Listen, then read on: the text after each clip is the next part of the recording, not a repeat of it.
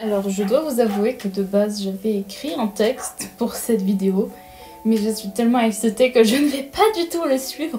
Du coup c'est un peu un improviste, euh, j'ai risque de faire des répétitions, bon j'ai des notes mais voilà. du coup comme vous l'aurez sûrement compris, cette vidéo est là pour annoncer l'épisode 2 de Welcome to the Strange Academia, sa sortie. Oui, ça, me fait très bizarre de vous l'annoncer parce que c'est tellement devenu une sorte de running gag sur ma chaîne, sa sortie. Donc enfin pouvoir véritablement l'annoncer, ça me, ça me fait quelque chose. Du coup, l'épisode va sortir dans pas longtemps et sa date de sortie, c'est la semaine prochaine, le 13 août à 18h en première.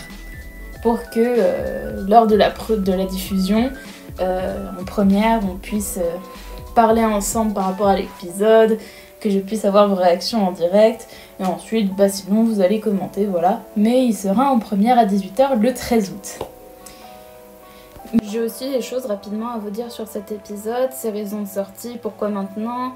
Et la particularité de cet épisode, c'est qu'il est en deux parties et celui qui sortira dimanche prochain est la partie 1. J'ai hésité pendant un moment à marcher comme ça, à faire euh, que la partie qui sort dimanche soit la partie 1, mais j'ai réalisé que c'était la meilleure des solutions pour différentes raisons. Premièrement, ça permet à l'épisode de sortir pendant les grandes vacances comme prévu, même si c'est une partie 1. J'avais hésité parce que je me suis dit avec toute cette attente, une partie 1 peut-être que c'est pas assez, mais ça permet d'avoir un épisode et de pas l'avoir dans 3 mois quand il sera terminé complètement. Ça permet d'avoir un épisode. De plus, la partie où je me suis arrêtée permet de maintenir en haleine, il y a du suspense, vous pouvez faire des théories, et euh, ça vous maintiendra en haleine pour la suite. Une deuxième raison est que Supichi a annoncé les Gacha Awards FR il y a pas longtemps et je voulais sortir cet épisode pour le mettre sous le hashtag GCMM pour euh, qu'il ait plus de visibilité, qu'il soit vu dans le live pour que mon travail soit vu,